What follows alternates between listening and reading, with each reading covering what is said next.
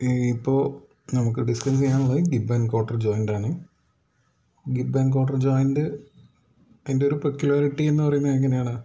രണ്ട് square shape ആയിട്ടുള്ള അല്ലെങ്കിൽ സ്ക്വയർ ക്രോസ് സെക്ഷൻ ആയിട്ടുള്ള ഷാഫ്റ്റ് തമ്മിൽ കണക്ട് ചെയ്യാൻ വേണ്ടിയിട്ട് യൂസ് ചെയ്യുന്ന ജോയിന്റ് ആണ് ഗിബ് ആൻഡ് ക്വാർട്ടർ ജോയിന്റ് അപ്പോൾ കഴിഞ്ഞ പ്രീവിയസ് ആയിട്ടുള്ള രണ്ട് ജോയിൻസിൽ സ്ലീവ് ആൻഡ് ക്വാർട്ടറും സോക്കറ്റ് ആൻഡ് സ്പൈക്കോട്ടും എന്ന് പറയുന്നത് സർക്കുലർ ആയിട്ടുള്ള ക്രോസ് സെക്ഷനുള്ള ഷാഫ്റ്റ് തമ്മിൽ കണക്ട് ചെയ്യാൻ വേണ്ടിയിട്ടാണ് ആ രണ്ട് ജോയിൻസ് യൂസ് ചെയ്യുന്നത്.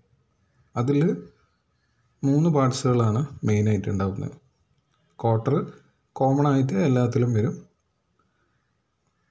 ഡിഫറെന്റ് ആയിട്ട് വരുന്ന ഒരു കാര്യം എന്ന് പറഞ്ഞു കഴിഞ്ഞാൽ ഗിബ് ആൻഡ് ക്വാർട്ടറും പ്രീവിയസ് ആയിട്ട് നോക്കിയിട്ടുള്ളതും തമ്മിലുള്ള വ്യത്യാസങ്ങളാണ്. ഒന്ന് സ്ക്വയർ ക്രോസ് സെക്ഷൻ രണ്ടാമത് വരുന്നത് അതിലെ പാർട്സുകൾ പ്രീവിയസ് ആയിട്ടുള്ളതിൽ മൂന്നെണ്ണാണെങ്കിൽ ഇതിൽ വരുന്നത് നാല് പാർട്സുകളാണ്. ഇപ്പോൾ രണ്ട് ജോയിനിങ് ആയിട്ടുള്ള ഷാഫ്റ്റുകൾ ഉണ്ടാവും. അതിനോട് ബന്ധപ്പെട്ടിട്ട് ക്വാർട്ടർ വരും. ഇതൊക്കെ നിങ്ങൾക്ക് അറിയുന്നതാണ്. അഡീഷണൽ ആയിട്ട് ഗിബ് ആൻഡ് ക്വാർട്ടറിൽ അഡീഷണൽ ആയിട്ട് വരുന്നത് ഗിബ് എന്ന് പറഞ്ഞൊരു പാർട്ടും കൂടി അഡീഷണൽ ആയിട്ട് വരും. അപ്പം ഗിബ് ചെയ്യുന്ന പർപ്പസ് എന്ന് പറഞ്ഞു കഴിഞ്ഞാൽ ഷാഫ്റ്റ് തമ്മിൽ ജോയിൻ ചെയ്യുക അല്ലെങ്കിൽ ലോക്ക് ചെയ്യുക എന്നുള്ള പർപ്പസാണ് ചെയ്യുന്നത്. ക്വാർട്ടറിന്റെ ഒരു പർപ്പസ് എന്ന് പറഞ്ഞാൽ ജോയിനിങ് മാത്രമല്ല രണ്ടും തമ്മിൽ സ്ട്രോങ് ആയിട്ട് ടൈറ്റൻ ചെയ്യുക. അല്ലേ? ബോൾട്ട് നട്ട് എന്ന് പറയുന്നത് നമുക്ക് ജോയിനിങ് മാത്രമല്ല എന്ത് ചെയ്യുന്നത്? ടൈറ്റനിങ് കൂടി ചെയ്യുന്നത്. അല്ലേ? അതേമാതിരി തന്നെയാണ് ഗിബിന്റെ പർപ്പസ് ലോക്ക് ചെയ്യും. അതിനോടൊപ്പം തന്നെ ക്വാർട്ടർ യൂസ് ചെയ്തിട്ട് നമ്മളതിനെ ആ ജോയിന്റിനെ ടൈറ്റൻ ചെയ്യുന്നു ഇതിൽ വരുന്ന പാർട്സുകൾ നമ്മൾ മുമ്പ് വീഡിയോയിൽ കണ്ട പോലെ തന്നെ നാല് പാർട്സുകൾ. ഒന്നാമത്തെ സ്ട്രാപ്പ് അല്ലെങ്കിൽ അതിന് ഫോർക്ക് എന്ന് പറയും. സ്ട്രാപ്പിനോട് കണക്ട് ചെയ്ത് വരുന്ന പാർട്ടാണ് റോഡ് എൻഡ് അല്ലെങ്കിൽ സ്ക്വയർ എൻഡ് എന്നും പറയും. പിന്നെ വരുന്ന ക്വാർട്ടർ ലാസ്റ്റ് പോർഷൻ ഗിബ് നാല് പോർഷൻസ് ആണ് അല്ലെങ്കിൽ നാല് ഐറ്റംസ് ആണ് ഗിബ് ആൻഡ് ക്വാർട്ടറിൽ വരുന്നത്. അപ്പോൾ ഇതിൽ ഷേപ്പ് സ്ക്വയർ ആണെന്നുള്ള കാര്യം നേരത്തെ നമ്മൾ പറഞ്ഞായിരുന്നു. അപ്പോൾ സ്ക്വയർ ഷേപ്പ് വരുന്ന ഭാഗങ്ങൾ ഷാഫ്റ്റ് ആണ് സ്ക്വയർ ഷേപ്പിൽ വരുന്നത്. അപ്പോൾ അതിൽ മൂന്ന് നാല് പാർട്ടിന്റെയും മൂന്ന് പാർട്ടാണ് നമുക്ക് ശരിക്കും നോക്കാനുള്ളത്. ക്വാർട്ടർ നിങ്ങൾക്ക് അറിയാം എങ്ങനെയാണ് വരയ്ക്കേണ്ടതെന്നുള്ളത്. അപ്പോൾ മൂന്ന് പാർട്ടായിട്ടുള്ള സ്ട്രാപ്പ് റോഡ് ആൻഡ് ഗിബ് ഇത്രയും കാര്യങ്ങൾ നോക്കാം. ഇപ്പോൾ വരച്ചിട്ടുള്ളത് നിങ്ങൾക്കിപ്പോൾ വീഡിയോയിൽ അല്ലെങ്കിൽ സ്ക്രീനിൽ കാണുന്നത് മൂന്ന് നാല് പാർട്സുകളായിട്ടാണ്. ക്വാർട്ടർ ഒഴിവാക്കാം. ബാക്കി മൂന്ന് പാർട്സുകൾ. അപ്പോൾ അതിൽ ആദ്യം വരുന്നതാണ് സ്ട്രാപ്പ്. സ്ട്രാപ്പിൽ ഒരു റഫ് ഫിഗർ വരയ്ക്കുകയാണെങ്കിൽ അത് ഇങ്ങനെയാണ് വരിക.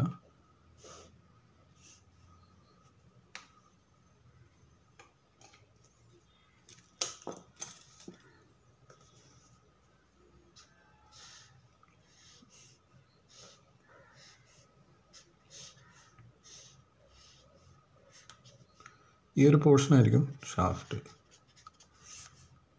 ഇത് രണ്ട് ലെഗ് ആയിട്ട് എടുക്കുക. ഇതിന്റെ ഉള്ളിലത്തെ സ്പേസ് വേക്കന്റ് ആണ്.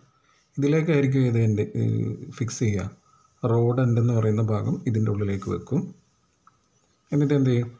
ഇവിടെ രണ്ടിലും ഹോൾ ഉണ്ടാവും. അതായത് ഫോർക്കിലും റോഡ് എൻഡിലും അതിന്റെ അകത്തേക്ക് എന്താ വെക്കുന്നത് ഗിബ് ആദ്യം വെക്കും. ഗിബ് വന്നിട്ട് ഇതിനെ ലോക്ക് ചെയ്യും. ലോക്ക് ചെയ്തതിന് ശേഷം ക്വാർട്ടർ ഇതിന്റെ അകത്തേക്ക് ഇറക്കി വെച്ചിട്ട് ടൈറ്റൻ ചെയ്യും. അപ്പോൾ എന്തുണ്ടായിരിക്കണം? ഇവിടെ ഹോൾ ഇവിടെയും ഹോൾ അല്ല?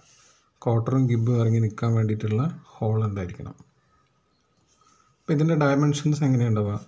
നമുക്ക് ഷാഫ്റ്റിന്റെ ഡയമീറ്റർ അറിയണം. ഡയമീറ്റർ അല്ല സ്ക്വയർ ആയതുകൊണ്ട് നമുക്ക് എന്താ പറയുക ലെങ്ത്ത് വിടുത്ത് എന്ന് അറിഞ്ഞാൽ മതി. അല്ലെങ്കിൽ സ്ക്വയറിന് നമ്മൾ നൊട്ടേറ്റ് ചെയ്യുന്നത് സ്ക്വയറിനൊരു ഷേപ്പ് വരച്ചിട്ട് ഡയമെൻഷൻ തന്നിട്ടുള്ളത് തേർട്ടി ടു ഇനി വേണ്ടത് ഏതാ?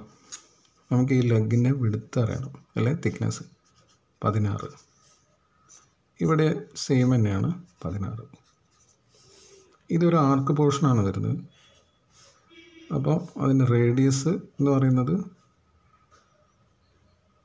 ശരിക്കും പറഞ്ഞു കഴിഞ്ഞാൽ അതിനൊരു പ്രൊപ്പോർഷൻ ലിമിറ്റ് ആണ്. Zero point five into S S എന്ന് പറഞ്ഞു കഴിഞ്ഞാൽ സ്ക്വയർ സ്ക്വയറിന്റെ ലെങ്ത്തും വിടുത്തും ഒക്കെ എന്താണ് സെയിം ആയിട്ട് വരിക അല്ലേ? ഇപ്പോൾ ഇവിടെ സ്ക്വയറിന്റെ ഇത് തന്നിട്ടുള്ളത് എയും ബിയും ഒക്കെ സെയിം ആയതുകൊണ്ട് അത് തന്നിട്ടുള്ളത് തേർട്ടി ടു ആണ്. Thirty two into point five എന്ന് പറയുമ്പോൾ പതിനാറ്. ഇനി വേണ്ട ഏതാ? നമുക്ക് ലെങ്ത് ആണ് വേണ്ടത്. ഹോൾ ലെങ്ത്ത് ഇത്രയും ലെങ്ത്ത്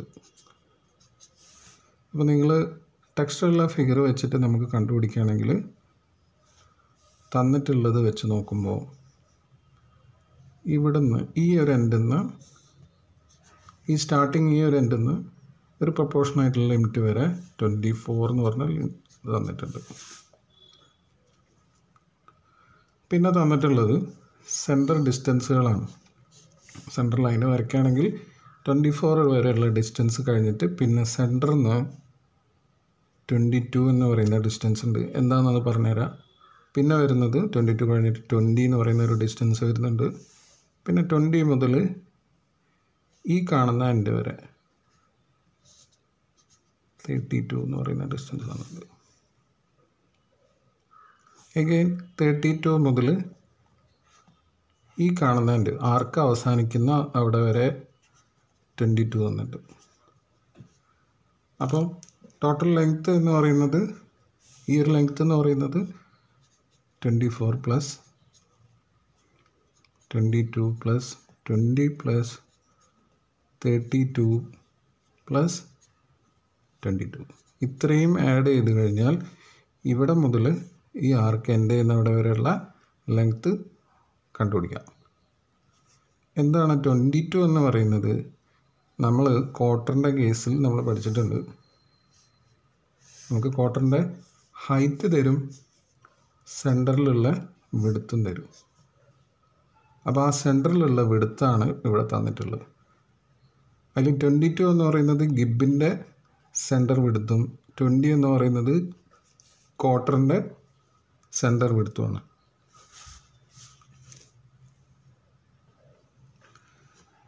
ഇനി നോക്കാനുള്ളത് റോഡ് എൻഡാണ് റോഡ് എൻഡ് എന്ന് പറയുമ്പോൾ ഫോർക്കിനകത്തേക്ക് അല്ലെങ്കിൽ സ്ട്രാപ്പിന്റെ അകത്തേക്ക് എന്റർ ചെയ്യുന്ന പോർഷനാണ് റോഡ് എൻഡ് എന്ന് പറയുന്നത്. ഇപ്പോൾ റോഡ് എൻഡ് ഇവിടെ കാണിച്ചിട്ടുണ്ട്. റോഡ് എൻഡിന്റെ ഷേപ്പ് നിങ്ങൾക്ക് സ്ക്വയർ ആണെന്നറിയാം അപ്പോൾ സ്ക്വയറിന്റെ ഈ ഒരു വിടുത്ത് എന്ന് പറയുന്നത് ഈ വിടുത്ത് തന്നെ ആയിരിക്കും ഈ വിടുത്ത് നമുക്കറിയാം തേർട്ടി ടു ആണ് തന്നിട്ടുള്ളത്. സെയിം ഷാഫ്റ്റിന്റെ അതേ വിടുത്ത് തന്നെയായിരിക്കും ഇവിടെ ഉള്ളത്. ഇതൊക്കെ നമുക്ക് ഗിവൺ ഡ്രോയിങ്ങിലുള്ള ഡയമെൻഷൻസ് ആണ്. തേർട്ടി ടു ഈ ലെങ്ത്ത് നിങ്ങൾക്ക് കൺവീനിയന്റ് എടുക്കാം. കാരണം എന്താ? ഈ ഭാഗവും ഈ ഭാഗം എന്ന് പറയുന്നത് ഈ ഭാഗം എന്ന് പറയുന്നത് കട്ട് ചെയ്തിട്ടുള്ള പോർഷൻസ് ആണ്. അപ്പോൾ നമുക്ക് കൺവീനിയന്റ് ലെങ്ത്ത് എടുക്കാം. ഇനി നോക്കാനുള്ളത് റോഡന്റ് കഴിഞ്ഞാൽ ക്വാർട്ടറാണ് ക്വാർട്ടറിന്റെ പോർഷൻ നമുക്കറിയാം. ഗിവൺ ഡയമെൻഷൻസ് ഹൈറ്റ് നൂറ്റി പത്ത് വിഡ്ത്ത് ട്വന്റി റേഷ്യോ എന്ന് പറയുന്നത് one is to twenty four one is to twenty four തന്നാൽ എങ്ങനെയാണ്? ഈ വിടുത്തും ഈ വിടുത്തും കാൽക്കുലേറ്റ് ചെയ്യുന്നത് നിങ്ങൾക്കറിയാം. ഇനി ക്വാർട്ടർ കഴിഞ്ഞാൽ നെക്സ്റ്റ് വരുന്ന പോർഷനാണ് ഗിബ് ഗിബിന്റെ ഒരു ഷേപ്പ് എന്ന് പറയുന്നത്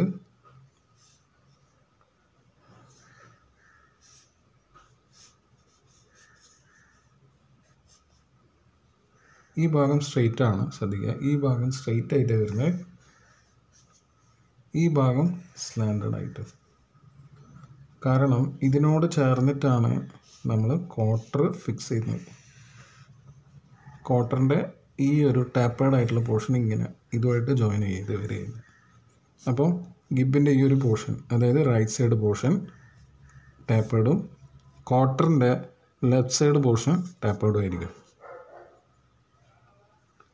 അപ്പോൾ അതൊന്ന് ശ്രദ്ധിച്ചാൽ മതി. ഇനി അതിന്റെ ഡയമെൻഷൻ നോക്കുകയാണെങ്കിൽ നമുക്ക് തന്നിട്ടുള്ള ഗിവൺ ഫിഗറിൽ വെച്ചിട്ട് നോക്കുകയാണെങ്കിൽ ദിസ് ഈസ് ടെൻ ഇതും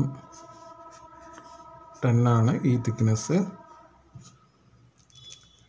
ഇനി നമുക്ക് കണ്ടുപിടിക്കേണ്ടത് ഇനി വേറെ ഒന്നും കൂടി തന്നിട്ടുണ്ട്. ഈ ഒരു സെന്ററിലുള്ള വിടുത്ത് ട്വന്റി ടു ഇവിടെ നമുക്ക് കിട്ടിയ അതേ തന്നെ.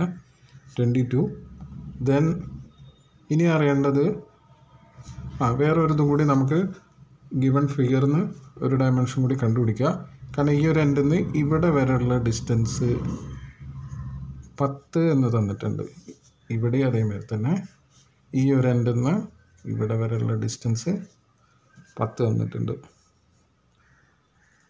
സോ അങ്ങനെയാണെങ്കിൽ ഇത് ട്വന്റി ടു ഇവിടുത്തെ ടാപ്പർ എന്ന് പറയുന്നത് വൺ ഇസ് ട്വന്റി ഫോർ അങ്ങനെയാണെങ്കിൽ ഈ ഡിസ്റ്റൻസും ഈ ഡിസ്റ്റൻസും നിങ്ങൾക്ക് റേഷ്യോ വെച്ചിട്ട് കണ്ടുപിടിക്കാം. ഇതും അറിയുകയാണെങ്കിൽ സെന്ററിലുള്ള വിടുത്തും അറിയുകയാണെങ്കിൽ മുകളത്തെയും താഴത്തെയും ഡിസ്റ്റൻസ് കണ്ടുപിടിക്കാം. അപ്പോൾ ഇതിൽ വ്യത്യാസം വരുന്നത് എവിടെയാണ്? ഡിസ്റ്റൻസ് കൂടുതൽ താഴേക്കും ഡിസ്റ്റൻസ് കുറവ് മുകളിലേക്കും. ക്വാർട്ടറിന്റെ നേരെ തിരിച്ചിട്ട്. ക്വാർട്ടറിൽ എങ്ങനെയാണ്? ഡിസ്റ്റൻസ് കൂടുതൽ മുകളിലും കുറവ് താഴെ ഗിബിന്റെ കേസിൽ നേരെ ഓപ്പോസിറ്റ് ആയിട്ട് വരും. ഡിസ്റ്റൻസ് കൂടിയ പോർഷൻ താഴേക്കും കുറഞ്ഞ പോർഷൻ മുകളിലേക്കും ആയിരിക്കും ഉണ്ടാവുക. ഇനി നോക്കാനുള്ള ഗിബിന്റെ ഹൈറ്റ് എത്രയാണെന്നുള്ളതാണ്. നമുക്ക് ഹൈറ്റ് ടോട്ടൽ ഹൈറ്റ് അറിയണമെന്നുണ്ടെങ്കിൽ ഇതാണ് അതിന്റെ ടോട്ടൽ ഹൈറ്റ് അല്ലേ? ഈ ഡിസ്റ്റൻസ്. നമുക്ക് അറിയുന്ന പത്ത് ആൻഡ് അഗെയിൻ താഴെയുള്ള പത്ത് എന്ന് പറയുന്നത് ഹൈറ്റിൽ ഇൻക്ലൂഡഡ് ആണ്. ബാക്കി നമുക്ക് ഏത് നോക്കിയാൽ മതി? ഈ ഇടയ്ക്ക് വരുന്ന ഈ ഒരു ഗ്യാപ്പ് മാത്രം എത്രയാണെന്നുള്ളത് കണ്ടുപിടിച്ചാൽ മതി. ഈ ഒരു ഗ്യാപ്പ് മാത്രം എത്രയാണെന്നുള്ളത് കണ്ടുപിടിച്ചാൽ കാരണം ഇത് പത്താണെന്നും ഇത് പത്താണെന്നും വരെ. അപ്പോൾ ഈ ഒരു ടോട്ടൽ ഇതിനെയാണ് നമ്മൾ ഹൈറ്റ് ഗിബിന്റെ ഹൈറ്റ് എന്ന് പറയുന്നത്. അതും ഇതേമാതിരി തന്നെ നമ്മൾ പ്രീവിയസ് ഫിഗറുമായിട്ട് കമ്പയർ ചെയ്യുമ്പോൾ നമുക്ക് കണ്ടുപിടിക്കാൻ പറ്റും. കാരണം ഗിബ് എന്ന് പറയുന്ന പോർഷൻ ഈ ഇതിന്റെ അകത്തേക്ക് ലോക്ക് ചെയ്തിടുകയാണ് ചെയ്യുന്നത് അല്ലേ?